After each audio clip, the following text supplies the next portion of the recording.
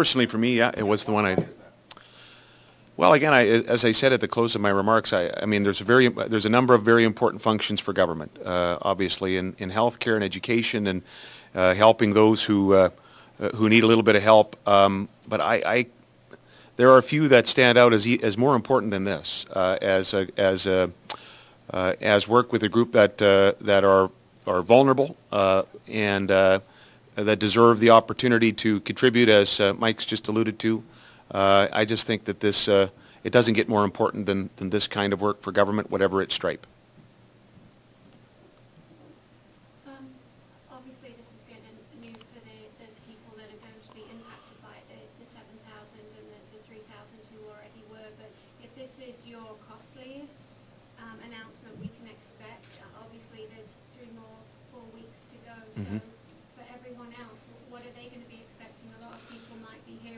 Sure. going, oh, well, they're not dipping in their pocket for me, whether it be announcing a PST reduction or tax break or whatever. Sure.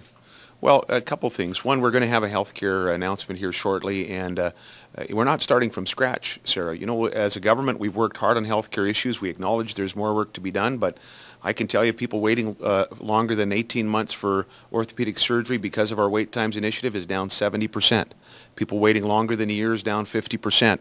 There are 200 more doctors practicing in the province today with admittedly more needed. There's 900 more nurses operating today, a promise exceeded from the last campaign.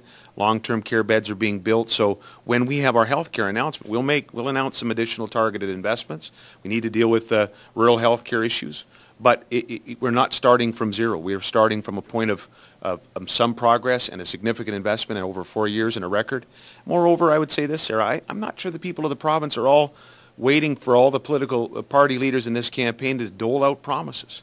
I think they also want to make sure that the budget is balanced. I think they would like to know that there's a chance for us to continue to re- reduce debt.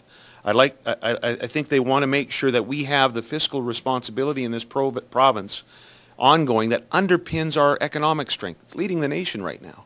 And our ability to afford $77 million for the 440 waitlist initiative, for example, as a, as a society, our ability to, afford this announcement today and more work down the road that's needed, as I've acknowledged, is, is dependent on, on us being fiscally responsible. Uh, that's how we're going to keep things going in the long term.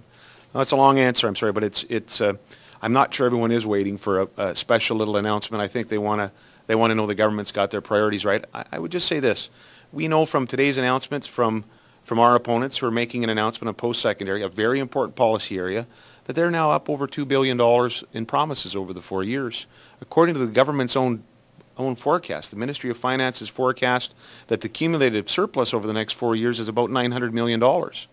So if they're at $2 billion, there's a billion dollar plus deficit there already in their plans. That's without costing out a revenue, a resource revenue sharing for First Nations. So I don't think the people are waiting for deficits. I think they're waiting for responsible government and a government that cares about, uh, about uh, things like uh, issues like we're talking about today.